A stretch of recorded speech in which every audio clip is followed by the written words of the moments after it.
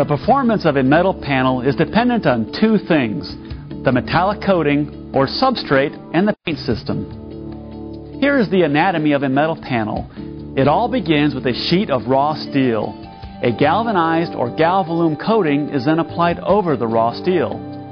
These metallic coatings are what gives the metal panel the ability to have service life and resist corrosion. The finished product is then referred to as either a galvanized or galvalume substrate. When colored products are desired, a paint system consisting of a pretreatment, primer, and top coat is applied over the galvanized or galvalume metallic coating.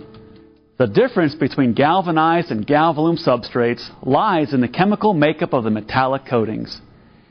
Galvanized substrates have a 100% zinc coating, while galvalume substrates utilize an alloy of zinc plus aluminum. In both cases, the raw steel is coated in what is called a hot dip process. For galvanized substrates, the raw steel is coated in a bath of 100% zinc, while galvalume substrates are coated in a bath of zinc plus aluminum. Galvanized substrates are identified by a G rating. The G stands for galvanized, and the number indicates the amount of protective zinc that is applied to the panel surface. G60 means that there is 60 ounces of zinc total, both sides, per every 100 square feet of material, while G100 has 100 ounces of zinc every 100 square feet of material. These designations are very important because there is a direct and linear relationship between the amount of zinc and the rate of corrosion. G100 contains 66% more zinc than G60 and will offer a much longer service life.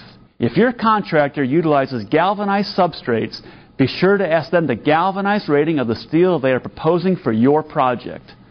Don't accept, I don't know, or it doesn't matter as an answer. In some parts of the country, galvanized substrates as low as G40 are becoming prevalent. G40 substrates simply do not have enough zinc to offer long-term or even mid-term performance. For most applications, galvalume will provide a much longer service life than galvanized. Here are some exposure tests of the two substrates. The horizontal line is a measurement of years, and the vertical line measures corrosion. Note the superior performance of galvalume. Let's look at an actual exposure test. These are photos of bare galvanized substrates after being exposed to the elements for 18 years. The sample on the right was exposed in a moderate marine environment, and the sample on the left was exposed in a rural environment. As you can see, these panels exhibit severe rust. Now, these are samples of bare galvalume tested at the exact same locations. The only difference is that these photos were taken for 23 years instead of 18.